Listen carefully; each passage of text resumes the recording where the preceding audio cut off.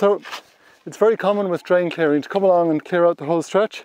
And what that does is it denudes the plants and the insects and the potential for filtration. So what I'm doing here is just a really, really simple measure. Literally just digging a bit of a digging a bit of a pool above a dam and then building a small dam at the bottom of it. And that's designed then to hold the water. So I build this up in layers and just dance up and down on it every so often just to really puddle it in well. so, so what I'm trying to do here is to create a nice, a nice, good, solid, impermeable dam out of the clay. And we're lucky here because we've got good, heavy marley clay, good, heavy, stable stuff. So I'm just working back up along and adding to the dam every, with every shovelful. And then by the time I'm finished then, the plan will be to have a, a good impermeable dam. The plan will be to have a good impermeable dam that will hold water back behind it, create a series of little pools. And like with all the other measures on the farm, it's to hold on to the water, let the silt settle out, give space for plants to grow, they'll take up the nutrients. So there's a whole range of benefits that ensue from all of these small measures. And you can see they're not big, you know, they're not big steps. They're all really simple things that can be done. And uh, I suppose if I was here standing beside the JCB, I'd just get him to leave a chunk every so often. And that would do a similar job. But in the absence of that, I'm just repairing some of this to, to get a bit of a dam in place.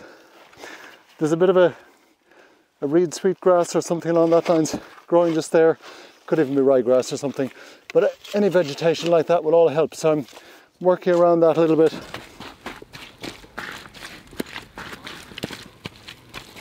And I put the odd stone below it just to act as a bit of a, a bit of a buffer, just to cake it on. I don't know how much of a difference the stone will make.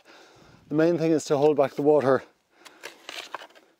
Now I know that James tells me that this gets much, much swifter in the winter, and I've only ever seen it in the summer.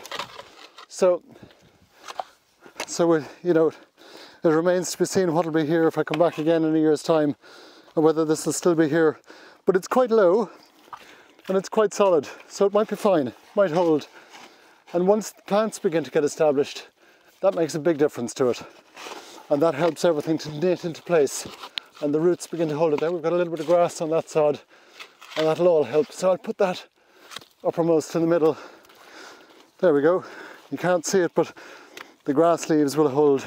What I want to do is make sure that the water is coming down in the middle so that it doesn't erode the sides. Okay, there we go. I think that's pretty much pretty much it.